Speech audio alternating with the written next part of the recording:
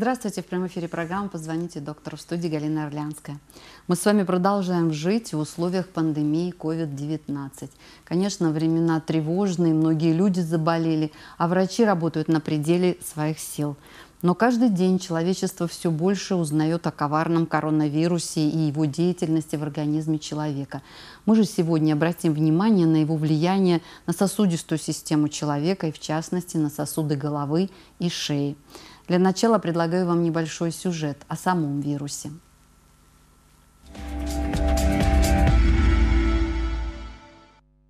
Впервые вспышка коронавирусной инфекции была зарегистрирована в декабре 2019 года в китайском городе Ухань.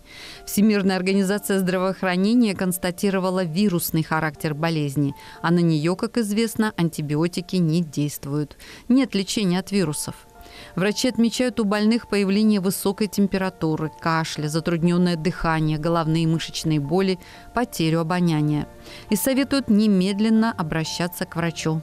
Болезнь в короткие сроки быстро распространилась по миру. Более 240 миллионов людей заболели COVID-19 и более 5 миллионов умерли от коварного вируса. Украина находится на седьмом месте по заболеваемости. В 2020 году Всемирная организация здравоохранения объявила о чрезвычайной ситуации в мире и назвала происходящее пандемией, которая стала вызовом для всех – а так называемый невидимый враг – угрозой не только здоровью людей, но и причиной появления множества домыслов и мифов. На сегодня точная причина возникновения пандемии остается неизвестной, официально непризнанной.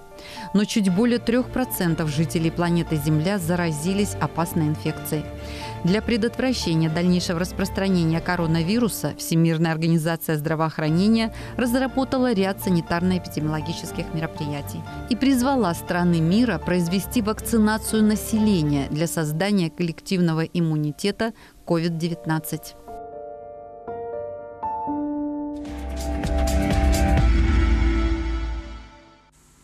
Сегодня у нас в программе невролог городской больницы номер 4, кандидат медицинских наук, шипотиник Евгений Владимирович. Здравствуйте, доктор. Здравствуйте. Здравствуйте.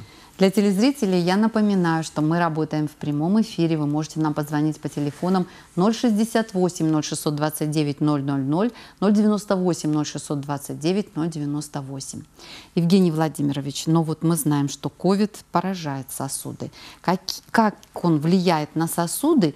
И учитывая, что в голове у нас тоже много сосудов, увеличилось ли у вас количество инсультов, которые считаются вообще самой большой катастрофой сосудистой в голове. Да, к сожалению, это случилось. Количество инсультов в том числе увеличилось за счет увеличения ковидных инсультов. А, во-первых, потому что, к сожалению, они происходят даже у лиц, у которых, как мы говорим, нет факторов риска, то есть ни у гипертоников, ни у диабетиков. А, ну и плюс, к сожалению, у нас очень много э, лиц с заболеваниями, которые приводят к инсульту. Диабетиков очень много в Украине и в нашем городе, гипертоников. Соответственно, риск э, у человека возрастает заболеть инсультом при инфицировании ковида. И вот в пятницу прошедшую был Всемирный день борьбы с инсультом, где это также проблема поднималась остро, потому что э, ковидные инсульты – это очень тяжелые инсульты, э, инсульты, которые характеризуются очень высокой летальностью, там летальность до 50%. То есть мы говорим о том, что человек, заболевший ковидом, с ним происходит инсульт. Что при этом э, в сосудах Часто головы? у ковидного пациента у, э, у которого, особенно если это тяжелое течение, это течение, если с пневмонией, то есть снижение сатурации происходит же очень часто у таких пациентов. И эти пациенты, в общем-то, у них риск развития инсульта, даже неважно, страдает он гипертонией, или страдает он диабетом, или страдает он там атеросклерозом или болезнями почек и очень высок. Почему? Потому что э, низкий уровень кислорода в крови – это гипоксия, естественно, мозг на нее реагирует. И наиболее чувствительные два органа к недостатку кислорода – это сердце и мозг. Соответственно, это первый механизм развития инсульта ковидного – это низкий уровень сатурации. И э, второй э, механизм развития инсульта, тоже очень часто, это повышение свертываемости крови. У этих людей ярко выражена склонность к тромбозам, что, в общем-то, выливается в пневмонии, естественно, может вылиться в инфаркт, естественно, может вылиться в инсульт. А, в вашей как бы, специальности считается, что инсульт – это, наверное, самое грозное осложнение неврологическое. Что при этом в голове происходит в сосудах, когда случается инсульт? В голове чаще всего происходят тромбозы. Тромбоз То есть закрывается сосуд? Закрывается просвет сосуда тромбом, кровяным сгустком. И что? дальше с человеком Возникает происходит? у человека э, неврологическая симптоматика. Чаще всего это слабость в руке, в ноге, нарушение речи, головокружение, выраженная головная боль. Вот это основные симптомы. К а сожалению, как то, что я вот хочу донести, это очень тяжелые инсульты. Мы ну, впервые в нашей практике, ну, лично я, допустим, столкнулся с ковидными инсультами год назад. То есть вы отмечаете, что они тяжелее, чем те инсульты, они значительно которые... тяжелее, чем инсульты не ковидные. В этом, очень, в этом и вся проблема. Э, впервые мы вот прочувствовали это год назад, получается, во вторую волну ковида когда ну, мы обратили внимание, у нас в отделении, где я работаю, в четвертой больнице, э, за первые 9 дней, когда мы начали э, лечить уже, как это, это был разгар ковида, и первые 9 дней мы лечили а, ковидный инсульт, у нас из 12 пациентов 6 умерло. Ну, то, то есть там и смертность высокая. Очень высокая смертность. Но мы начали, естественно, ну, разбираться. У нас это, э, это же серьезные вещи, 50% летальности. Э, звонили в другие центры, звонили на кафедры, звонили в институт неврологии. Э, ну, в общем-то, э, поднимали литературу новую, еще, которые обзоры, международные обзоры, там действительно это была про это проблема всего, в общем-то, мира. А, а, то есть мы читали обзоры, которые писали в Австралии, австралийские, американские, канадские, европейские и наиболее развитые страны Африки, где есть доступ к, к ПЦР-диагностике. Uh -huh, По большому счету там тенденция там, э, от 40 до 50% летальность при ковидных инсультах. То есть это тяжелый вид инсульта. И сейчас, как э, мне кажется, на нашему населению нужно как никогда подумать о своем здоровье. Во-первых, о своих факторах риска. Э, а вот, кстати, кто, давайте еще раз... о элементарных э, правилах э, безопасности. Давайте тогда по очереди. Вот а, мы говорим о факторах риска и людях, которые в группе риска, с которыми это может случиться чаще. Кого вы выделяете? То есть чаще всего это инсульты происходят. Это гипертоники, это лица с патологией сердца, это в основном это постинфарктные пациенты и пациенты с мерцательной аритмией. Это люди с ожирением, это люди с диабетом, это люди, у которых э, выражен атеросклероз, повышение уровня холестерина, это люди, которые употребляют алкоголь, злоупотребляют алкоголь или пьют запоями, это люди с болезнями почек, и люди, которые подвержены хроническому стрессу. Это наиболее частая категория людей, которые могут, у которых может развиться инсульт. А вот есть какие-то ошибки, которые, быть может, ускоряют этот процесс развития инсульта? Какие ошибки у этих пациентов в отношении к своему здоровью вы считаете самыми Знаете, грубыми? Еще очень известный врач Пирогов сказал, что будущее принадлежит медицине предупредительной. Естественно, профилактировать инсульта. Это легче, чем лечить. Поэтому люди, у которых есть вышеперечисленные факторы риска, они должны ими заниматься. То есть придерживаться определенного режима питания, определенного режима физической нагрузки и определенного приема медикаментозных препаратов под наблюдением семейного врача. То есть если он страдает гипертонией, то он должен принимать препараты. Если он страдает диабетом, то это диета, да, допустим, то, что мы все знаем, таблетки или инсулин. Если он страдает аритмией, то это опять же нужно наблюдаться у семейного врача и, возможно, не забывать даже и про кардиолога иногда сходить. То есть следовать советам. Следовать, конечно. Ну а сейчас дополнительно, чтобы вы сказали этим людям, которых есть риск развития вот сейчас, многие пренебрегают, мы видим, как носят маски, а, очень много слухов и всяких, какие хочешь, мифов и домыслов по поводу прививок. Вот должны ли люди вот этой группы риска делать прививки? Вредно это им? Есть противопоказания или нет? Ну, там есть очень узкий перечень противопоказаний. В основном прививки показаны всем. На самом деле люди, э, э, людей, у которых медикаментозные противопоказания к прививке, их очень мало. Очень мало. То есть вот. такие пациенты, Они которые есть... прививаться. Вы сторонник того, чтобы они делали себе прививки. Да, вот вы, безусловно. мы знаем о том, что вы консультируете, часто ходите к неврологическим пациентам в ковидное отделение вашей городской больницы номер 4, где героические врачи помогают пациентам выжить. Вы сами переболели COVID-19. Скажите по поводу людям-скептикам по поводу течения этого заболевания. Это обычный грипп или есть какие-то особенности, вы отмечаете в течение этой болезни, учитывая, что сейчас наши больницы заполнились большим количеством Знаете, пациентов? не хочется сеять панику, но очевидно, да, вот всем очевидно, что этот штамм вируса, он значительно более опаснее, чем предыдущий. Вот. Действительно, больницы переполнены, действительно, врачи работают на, э, скажем так, на грани своих возможностей. И дай бог им здоровья, чтобы никто не болел никто не вылетал, потому что просто если такие будут темпы заболеваемости, если не пойдет на спад, ну просто у нас просто скоро может, ну не дай бог, конечно, ну некому лечить будет. Все же болеют, врачи же тоже болеют. И они получают очень большую вирусную нагрузку. И нужно, наверное, тоже ну, немножко войти в положение врачей, такое количество пациентов принимать очень тяжело. Ну, 60-90 человек за смену, это только принимают они. Есть же еще, которые лежат, они же тоже требуют внимания. И надо с родственниками Давайте переговорить. прервемся, Там дадим возможность. Большие очень нагрузки. Телефонный звонок у нас есть. Алло, мы вас слушаем, говорите. Здравствуйте. Здравствуйте. Здравствуйте. Алло? Да-да, говорите, мы вас слушаем. Здравствуйте. Здравствуйте. Э, скажите, пожалуйста, э, Мы вас совершенно не слышим. Вы можете от телевизора отойти? Да, я, я телевизора, как? Мы вас просим перезвоните, потому что очень плохая связь. Мы практически не слышим ваш вопрос. Но мы продолжаем по поводу тяжести течения болезни. Каких вы видите пациентов?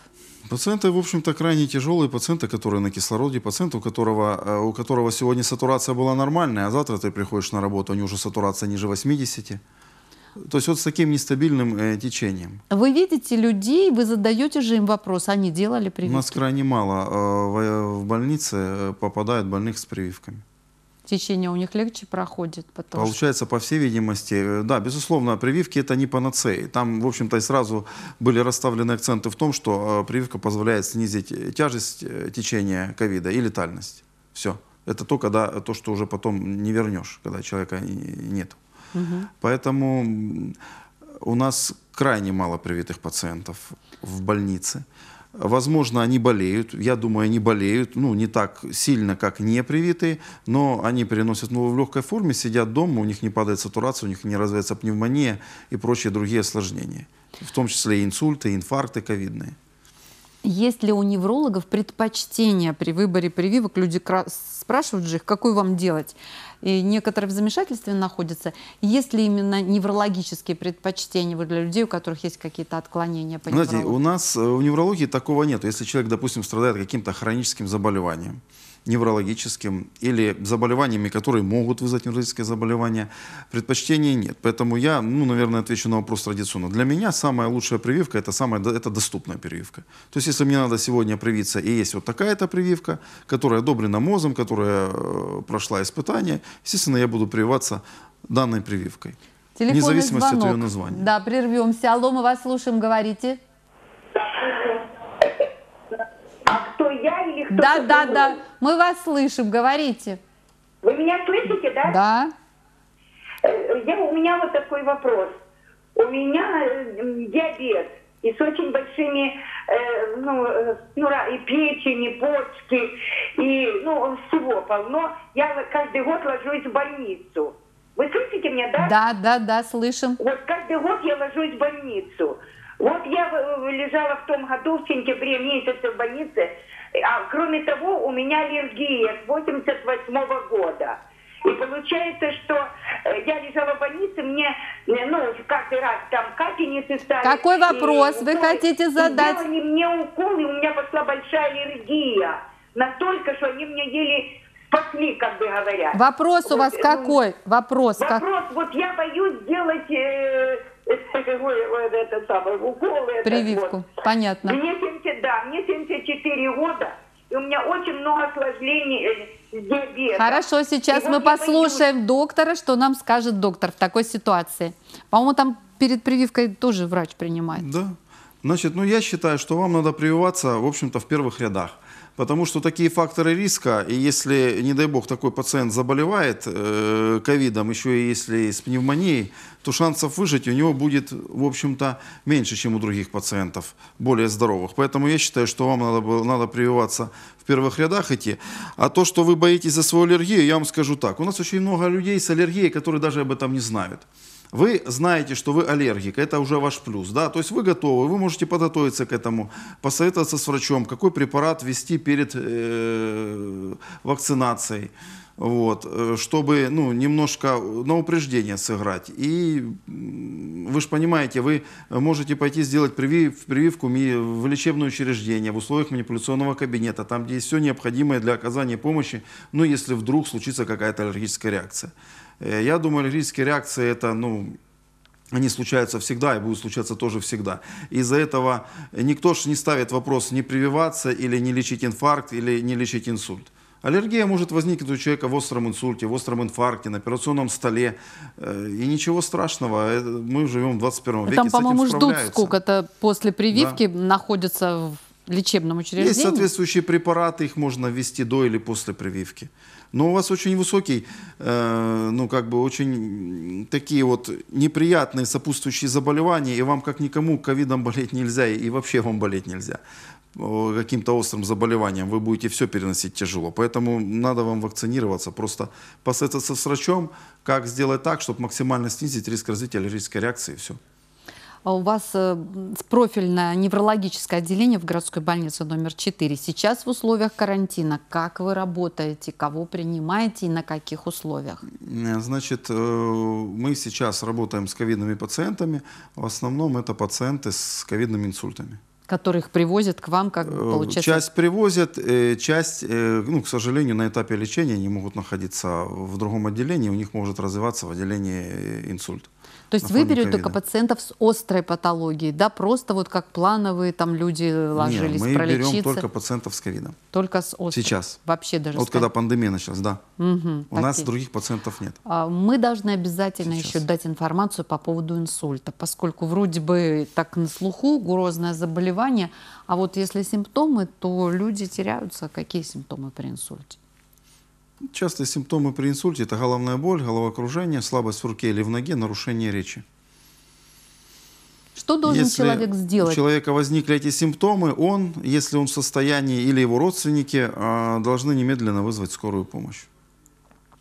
У вас есть золотые какие-то часы, в течение которых вы можете применить определенное лечение для того, чтобы а, предотвратить грозное осложнение инсульта? Да, в течение четырех с половиной часов это называется понятие, есть такое терапевтическое окно, когда э, доступен метод тромболитической терапии, то есть растворение тромбов, которые вызвали закупорку сосуда.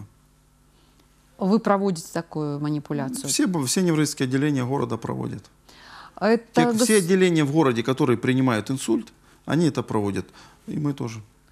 А, это государство оплачивает, учитывая, что тромболизис, наверное, это дорогостоящая процедура? Раньше до вот этой реформы а, мы получали тромболитик, это порядка а, тысячи евро стоит препарат, одна доза, на лечение нужна одна доза, это препарат вводится однократно. Мы получали препарат по линии МОЗ, ну, со следующего года э, ну, ходят слухи такие вот, ну, правда, он еще год не начался, что больницы будут закупать сами на те деньги, препарат. которые им платят за лечение угу. инсульта.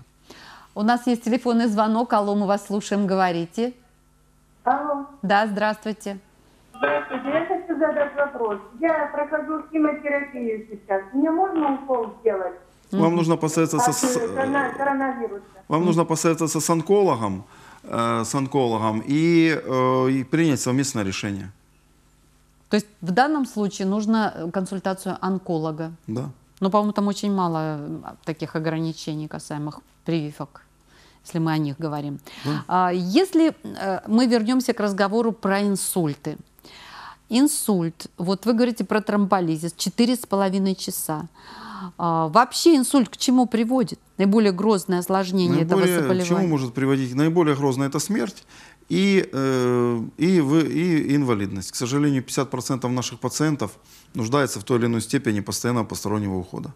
То есть это колоссальные экономические затраты для членов семьи. Многие из них вынуждены оставлять работу, чтобы ухаживать за больным родственником. Многие из них подрывают свое здоровье. Плюс это стрессовая ситуация. Э, Постоянно в семье, когда ну, близкий человек на твоих глазах, э, когда э, там три дня назад он бегал и выполнял какие-то, в общем-то, жил актив- активный образ жизни вел, и тут он прикован к постели. Это еще колоссальный стресс для членов семьи. А вот э, лечение, если люди не успели в эти четыре с половиной часа на тромболизис, то как отличаются сроки лечения при применении тромболитических методов и как, э, если другими какими-то Тромболитическая способами? терапия, конечно, она снижает э, сроки э, э, лечения и, самое главное, она снижает, снижает инвали- степень инвалидизации. Да, это самое основное.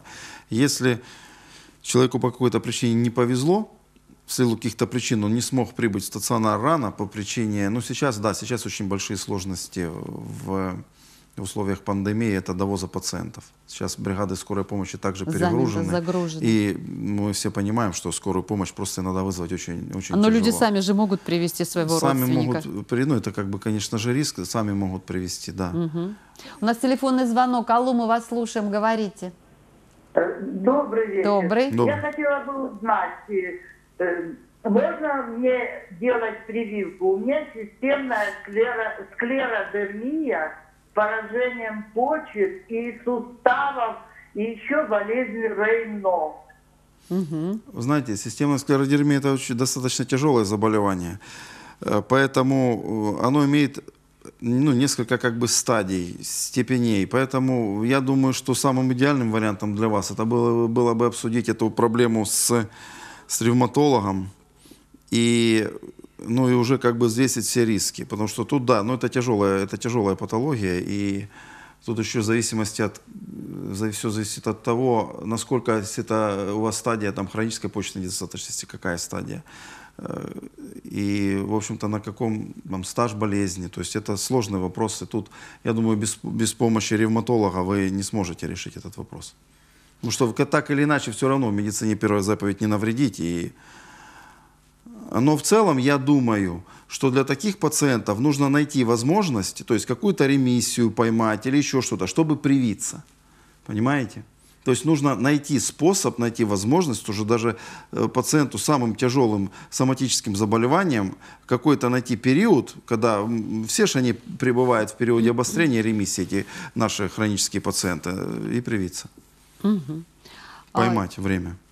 Если возвращаться к инсульту, то мы вот голова. Трудно же определить, инсульт это или нет. Я понимаю по каким-то признакам. Диагностику вы какую проводите и как это выполняется? Какая основная В экстренном диагностика? порядке а, выполняется компьютерная томография головного мозга. Вот. Слава богу, это, этот метод доступен во всех больницах. Это Туда- информативно очень. Да. Это позволяет определить. Ну, во-первых, 10, э, 10 в 10% опухоль головного мозга или метастазы протекает остро, как инсульт, дебютирует. То есть часть больных, они, к сожалению, оказываются онкобольными или больные с метастазами. Вот. Плюс это позволит определить, это кровоизлияние или тромбоз сосуда. А по поводу ковидных э, инсультов, а, у них тоже как-то так протекает похоже? Или тоже им 4 часа нужно? Похоже, только немножко разные причины. Лечение там по большому счету не отличается. Там есть определенные нюансы в диагностике по причине маршрута пациентов. У нас, к счастью, в больнице маршрут этот пациента отлажен. У нас не пересекаются маршруты э, пациентов с ковидом, не с ковидом. И у нас есть возможность, это очень большой плюс в нашей больнице, делать КТ больным пациентам с КТ головного мозга или там КТ легких, э, разные обследования назначаются, пациентам с ковидом, если есть показания. Да, если показаний нет, пациента на КТ головного мозга мы не направляем. Это не то обследование. Если нет, это должны быть веские основания делать. Поэтому все, все как бы... э, И просто сложности заключаются в, больши- в очень многих больницах. Сложности заключается в том, что недостаточно отлажен маршрут пациентам с ковидом на томограф. Вот это большинство, да. Ну, у нас как бы нету такого, но это как бы, конечно, помогает современно в диагностике, но, к сожалению, это не снижает тяжесть инсульта угу. не меняется. Но сейчас предлагаю вам и нашим телезрителям посмотреть небольшой сюжет про COVID-19.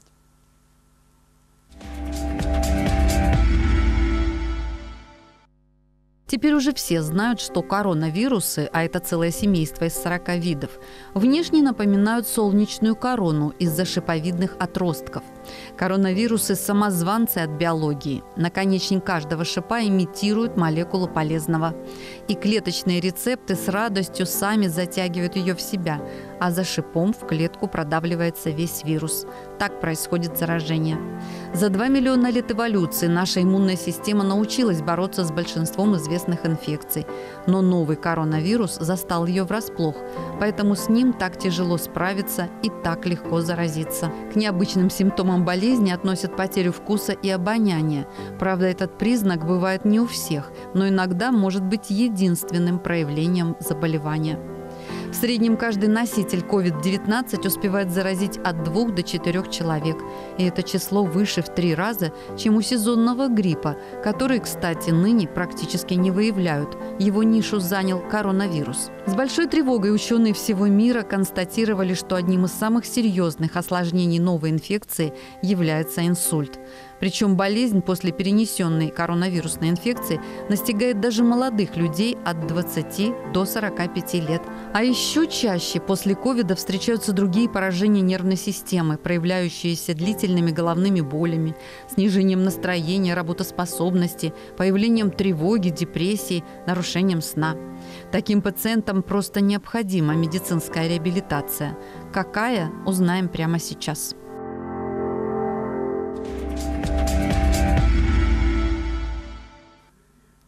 Прямом эфире мы беседуем с неврологом. Вы можете нам еще дозвониться, чтобы задать свои вопросы. Евгений Владимирович, вот мы говорим о том, что необходимо послеинсультное восстановление. Ну, начнем с него, послеинсультное. В чем, на ваш взгляд, оно заключается и через какой период человек должен заниматься восстановительными мероприятиями после инсульта, случившегося с ним? Значит, у нас по этим нашим медицинским стандартам и протоколам постинсультная реабилитация должна начинаться на вторые сутки. Вопрос только в какой форме, с какими нагрузками, сколько времени и какие упражнения. Индивидуально, наверное. Да, это, это все подбирается индивидуально в зависимости от тяжести инсульта. Поэтому мы стараемся начинать реабилитацию постинсультную, те, которые пациенты в состоянии. То есть мы сейчас не говорим о пациентах, которые крайне тяжелые находятся. То есть мы говорим о том, сутки. что у них а, движение нарушается, функция движения, двигательная, да. речевая функция да. нарушается, еще что-нибудь. Ну что, запоздалая реабилитация это, это и пролежни, и контрактуры, и потом же очень тяжело будет что-то сделать. В реабилитации в основном у нас, да, речь и движение, и координация. А, в нашем отделении ну, скажем так, до этого вот периода ковида у нас, в общем-то, есть прекрасный зал реабилитации с очень хорошим оборудованием, у нас очень хорошие реабилитологи. Есть, конечно, ряд проблем. Э, первая проблема, в общем-то, была изначально какая? К сожалению, в нашей стране профессия врач-реабилитолог появилась в 2015 году. Естественно, ну, по большому счету, я могу сказать за все больницы практически из нашей страны. Э, все только начинают сейчас, я думаю, только, как бы говорится, в зародыше. Это у нас Прервемся реабилитация. И... На телефонный звонок. Алло, мы вас слушаем, говорите. А, здравствуйте. Здравствуйте. Здравствуйте. Ну вот никак с нам с этим телезрителем не удается переговорить. Мы вас не, не слышим абсолютно. Или вам нужно по другому телефону позвонить, или от телевизора отойти. Какой-то конфликт существует. Ничего не слышим. Я, я помню, что есть на телевизоре. Нет, не слышно. Нет, не понимаем. Извините, пожалуйста, но не, мы не можем вас разобрать, что вы говорите. Мы говорили о том, что восстановительная реабилитация, есть теперь профессия специальная, она м, прикреплена к отделениям неврологическим. Да, у нас э, вот по пакету НЦЗУ, если больница э, заключает контракт с НЦЗУ на реабилитацию, будь то в травматологии, будь то в неврологии, будь то в детстве, там есть требования к штатам. То есть врачи, реабилитологи столько, логопед столько, психолог там угу. столько, угу. эрготерапевт, ну то есть раз, различные профили. Не имея этого штата, вы пакет на эти услуги не заключите. Поэтому Да, это сейчас, скажем так, направление, которое получило очень такое большое развитие. И я считаю, что у нас, допустим, в больнице созданы все предпосылки, чтобы это э, развивалось, потому что у нас очень, в общем-то, был проведен очень хороший ремонт, б- м, была очень, э, закуплено очень хорошее обо- оборудование для реабилитации. Но, к сожалению, мы сейчас не можем им воспользоваться на полную силу, потому что в условиях пандемии, к сожалению, многие технологии сейчас недоступны, в том числе и эти пока. Но мы надеемся, что скоро это все закончится, и мы сможем уже помогать людям. Попробуем ответить на телефонный звонок. Алло, добрый вечер, мы вас слушаем, говорите. Здравствуйте. Здравствуйте. Здравствуйте. У меня такой вопрос. Вот у моего сына хронический тромбофлебит э, э, на ногах. Ему можно делать э, эту прививку от ковида? Конечно, можно. И, и единственное, что я бы просто еще, знаете, вот как вот, э, знаете, как вот, ну, тромбофлюид это, в общем-то, распространенная патология. И большинство людей, наверное, этой патологией, в общем-то, не занимаются. То есть, если вы сомневаетесь, э, можно ли делать прививку при тромбофлебите, ну, не упускайте сам, само по себе это, это заболевание у сына. Пусть он ну, занимается этой проблемой. Ведь есть же определенные, то, что можно делать с тромбофлебитом, то, что нельзя сделать с тромбофлебитом. Есть иногда люди, которым показано оперативное вмешательство при тромбофлебите. Они почему-то тянут уже до последнего, когда уже, э, ну, совсем уже такая стадия запущенная. Понимаете, в чем все дело? У нас почему-то люди, э, я не говорю сейчас про вас, но очень часто вот, э, сталкиваешься с тем, что есть хроническое заболевание, человека это заболевание ну, вообще никак не беспокоит, не волнует. Как только заговорили за э, вакцинацию, он вдруг вспоминает, что у него вот есть вот это вот, а пять лет он в этом вообще не вспоминал. Я не, сейчас не про вашего сына говорю, это просто, ну, уже, ну, знаете, немножко наболело. И начинает говорить, что вот у меня вот это. Э, Да, действительно, тромбофлебит – это неприятная патология. Я считаю, что нужно прививаться, но нужно также заниматься тромбофлебитом, скажем так, каждый день, э, принимая препараты. Если надо прооперироваться, значит, надо оперироваться. Если э, нельзя что-то делать, значит, не надо этого делать. Я имею в виду на физические нагрузки. Ну, а мы давайте опять вернемся к людям, которые переболели ковидом. Это такое заболевание, ну, вы переболели, я тоже переболела, которое очень влияет на человека. Да. Начиная с психики, вначале паника, как-то страшно, ужасно, и потом нужно себя успокоить. А потом остаются такие симптомы, как головная боль, которая изо дня в день, а, потеря вкуса, запаха, иногда это даже очень долго затягивается у многих пациентов. Как, на ваш взгляд, после заболевания COVID-19, что советуют делать неврологи, чтобы быстрее восстановиться? Знаете, наверное, таких универсальных советов нет. Просто то, что советует любой врач, это вести здоровый образ жизни. Рациональное питание, рациональный режим труда и отдыха. А, немножко, ну, скажем так, все-таки полюбить себя в том плане, что э, избавиться от вредных привычек. Какие привычки вы считаете вредными, особенно влияющими на развитие неврологической патологии? Ну, алкоголь, курение, наркотики. Ну, ча- часто, конечно, чаще всего это, это конечно же, курение. Все-таки, ну, большинство-то э, людей, они, в общем-то, имеют, наверное, это самая распространенная вредная привычка, это курение. Мгм. Человек, который бросил курить, у него уже сразу на 45% меньше э, с одним просто действием. А есть же такое понятие, как активное действие. Тем активным действием вы снизили риск развития инсульта и инфаркта на 45%. Телефонный звонок. Ответим на ваш вопрос. Алло, добрый вечер, мы вас слушаем. Алло, Да-да, говорите. здравствуйте. Здравствуйте. Подскажите, пожалуйста, эм, у, у сына э, вегетососудистая дистония. И вот э, насчет вакцинации. Мгм. Э, Понятен нам. Какой одна прививку делать? И у него получается дефицит кровооттока справа идет, и вот боли часто вот и голова. Нет, это не противопоказание. Делайте. Давайте сейчас еще раз четко скажем. Вегетосудистония, головные боли, э, где-то асимметрия кровотока, как, э, судя по всему. Вот. Нет, это не противопоказание к прививке. А показания наоборот делать Наоборот, прививку. конечно. Я читала, что вегетососудистая дистония в некоторых странах мира, Европы, в том числе Америки, вообще не считается заболеванием. Да, это у нас тоже не считается за заболеванием, потому что на сегодняшний день вегетосудистая дистония, она не входит в международную классификацию болезней. Такого диагноза нет. Ну, а по поводу... Это, как правило, недообследованный пациент. У нас когда-то наша кафедра неврологии это доказала. Они приняли с, с пригородов э, 100 пациентов, с- которые направлялись на, в клинику с диагнозом ВСД. И просто Изучали. изучали их, а, полностью обследовали, и там э, какой-то процент это был ревматизм, какой-то процент, я уже не помню цифры, это э, исследования проводили, в общем-то, лет 8-9 назад, какой-то процент это было, были инсульты, какой-то процент это были пороки сердца, соответственно, это неврологические проявления головной боли большие. Ну, такого диагноза нет, они это наглядно продемонстрировали, то есть пациент, который и ходит с диагнозом вегетосудистая дистония там, по гипотоническому типу, иногда так даже ставить, гипертоническому типу, это просто недообследованный пациент, скажем так. Ну, не такое уж и опасное заболевание, так понимаю, Да. если его не признают в ряде стран. Да. А, По поводу восстановления запаха и вкуса. Есть ли какие-то рецепты, и, быть может, нужно просто подождать? Ну, наверное, у каждого свои сроки восстановления. Ну, а, наверное, очевидно, есть категория пациентов, у которых это не восстановится. Но Я думаю, это тоже есть. То есть В это медицине, такое ну, уже- это все бывает. Дай бог, что это был очень мизерный процент. А По поводу профилактики инсультов.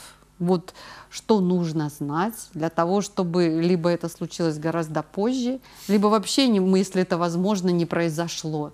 А Каких мероприятий нужно Значит, придерживаться? мы сегодня расп- э, ну, располагаем достаточно достоверными данными, э, такими, что 91,5% инсульта обусловлены 10 основными факторами риска, которые мы можем Извините, модифицировать. дадим возможность задать вопрос. Алло, мы вас слушаем, говорите.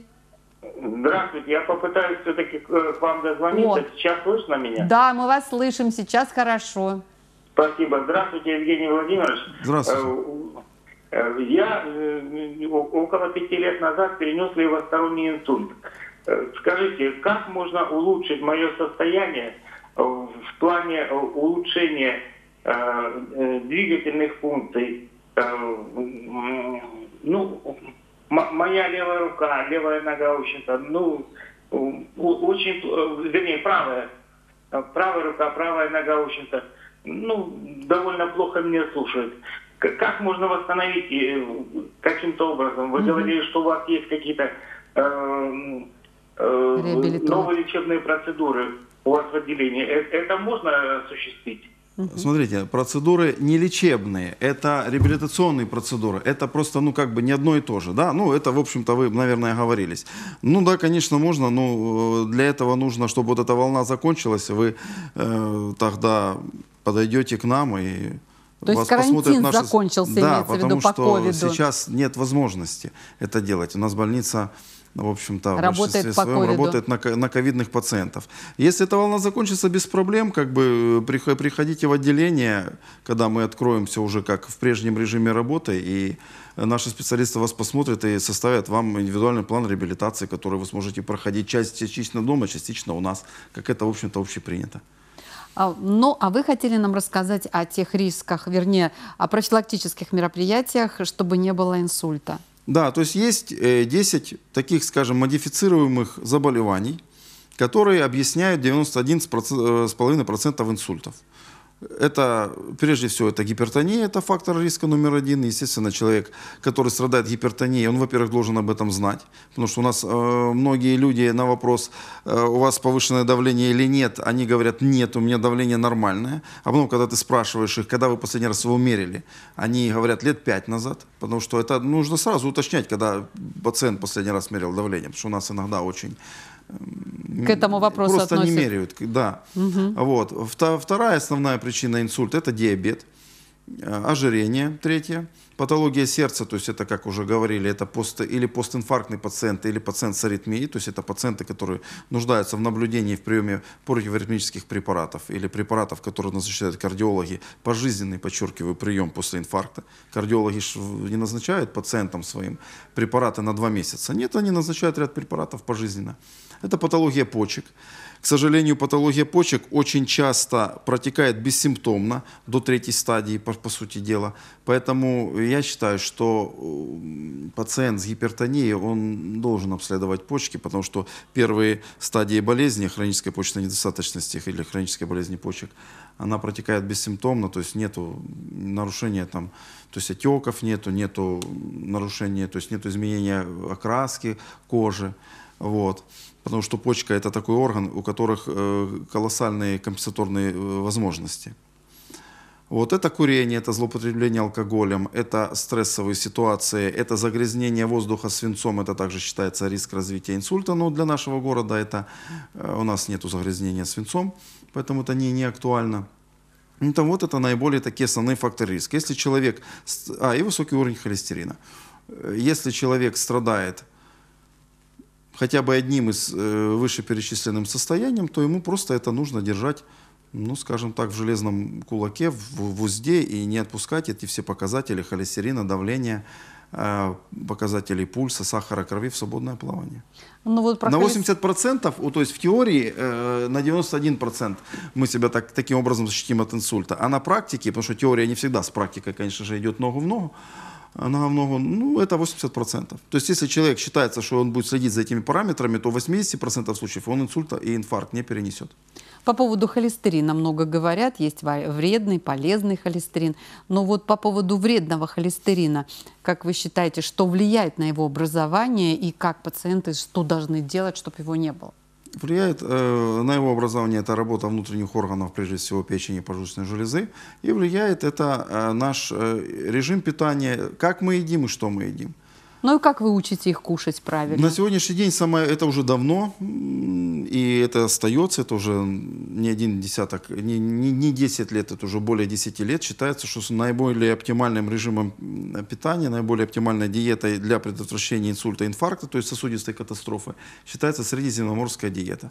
То есть э, сейчас уже как бы все умеют пользоваться интернетом. Э, я рекомендую зайти, посмотреть основные принципы и адаптировать к своим, скажем так, предпочтениям. Все это нужно адаптировать. Не надо прям слепо прочитать и все это э, начинать употреблять. Ну, кто-то любит так, кто-то любит так. Нужно адаптировать себе, решить, какие продукты ты будешь есть, какие не будешь, и все. Там достаточно демократичная диета. Но против каких Там вы продуктов мало... вот категорически выступаете и ограничиваете своих пациентов в их употреблении? Мы против продуктов, э, против жиров животного происхождения. Вот. Как можно меньше их надо употреблять в пищу. Ну и против фастфудов. Угу. Сейчас же, понимаете, какая-то катастрофа получается. Уже, ну, посмотрите, чем детей, как празднуются детские дни рождения и так далее, что заказываются детям на дни рождения, это же ужас. Естественно, мы будем сталкиваться с проблемами атеросклероза с 8-12-летнего возраста. А сейчас уже он помолодел по вашим Я статистике? думаю, да. Фастфуды делают свое, свое дело. Звоночек теле... нам мне подсказывают режиссеры. Алло, мы вас слушаем, говорите. Спасибо. Да, мы Я... вас слушаем. Вам звонит Левачев. Да. Вот. У меня, значит, э, рак прямой кишки. Удалили. Э, рак нисходящей толстой кишки. Удалили. Вот. У меня предстательная. Лечил. У меня киса на почках. Работаю. У меня цирроз печени. Лечил. Вот. У меня уже цирроз печени 26 лет. 26 Слава Господи, я вылечил сам его. Вот мне можно делать прививку или нет? Скажите, пожалуйста, вот такой по жизни борец, как вы, вы реально опасаетесь то, что с вами что-то может сделать прививка? Вы же... Э, ну, борец, вот, по сути. Вы же борец, по сути. Вам, по-моему, и 20 прививок вас не сломит. Поэтому вы точно, вот кто, кто вы тоже, вы точно можете не волноваться. Да, потому что такие люди, которые так... Э, должны жить, и поэтому Да. вам прививка должна быть показана. Но Да. если только онкологи не, не сделают Да, про- если ваши онкологи там вам не, не скажут не надо, то с моей точки зрения нет. Человек, который э, такой борец, то тут, по-моему, и Оптимист. 25 прививок ничего тут э, не, не сломит этого. А Вам скажите, нечего вот по- бояться точно. по поводу физических нагрузок, какие неврологи поддерживают, а против каких вы выступаете и говорите, вот это лучше не надо? У нас желательно 300 минут в неделю. Что имеется в виду? 300 минут? 300 минут в неделю физическая нагрузка. Там дальше уже, как говорится, по возможностям. Кто-то занимается плаванием в неделю, должно вот набегать эти минуты, 300 минут.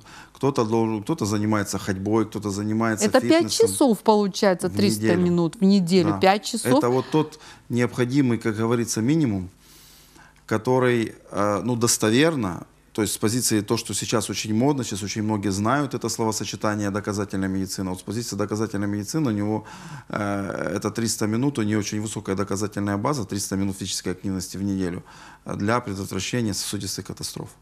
А там э, кому что нравится. Кто-то за не любит заниматься плаванием, пожалуйста. Кто-то любит бегать по утрам, пожалуйста. Кто-то э, вот эти скандинавские эти самые палки Палочки для ходьбы, есть. пожалуйста. Э, кто-то там что-то дома делает, пожалуйста. Кто-то велосипед. Сейчас очень много велосипедистов появилось. Сейчас же, понимаете, по большому-то счету, город сделал очень много для массовой физкультуры. Вы посмотрите, сколько прекрасных уличных э, тре- трена- Тренажеров, тренажеров. да, да, очень В- много. Очень много локаций. Это же, в общем-то, как бы хорошо. Об этом их надо использовать. Ну и еще такой вот вопрос мне подсказывают, что нужно вам задать по поводу микроинсультов. Когда человек говорит, что микроинсульт, чем он отличается вообще от инсульта? И насколько... Ну, у нас есть термин «малый ишемический инсульт». Я думаю, этот вот термин, который общепринят э, в неврологии, люди называют микроинсультом, в, как говорится, в, в простонародье. Значит, это инсульт, э, ск- скажем так, симптоматика, симптоматика, когда прошла в течение трех недель. То есть, если что-то там, допустим, слабость в руке, там, нарушение речи или там, нарушение координации движений, если эти жалобы прошли в течение трех недель, это называется малый инсульт. А, То есть человек полностью восстановился в течение в результате недель. Не- лечения. если три недели и один день, то это уже инсульт. Уже как без микро, последствия. да, это уже без, не микро, а уже инсульт. Ну, это чисто по нашим классификациям. Мгм. Ну и болезни. каков процент людей, которые восстанавливаются после инсульта перенесенного?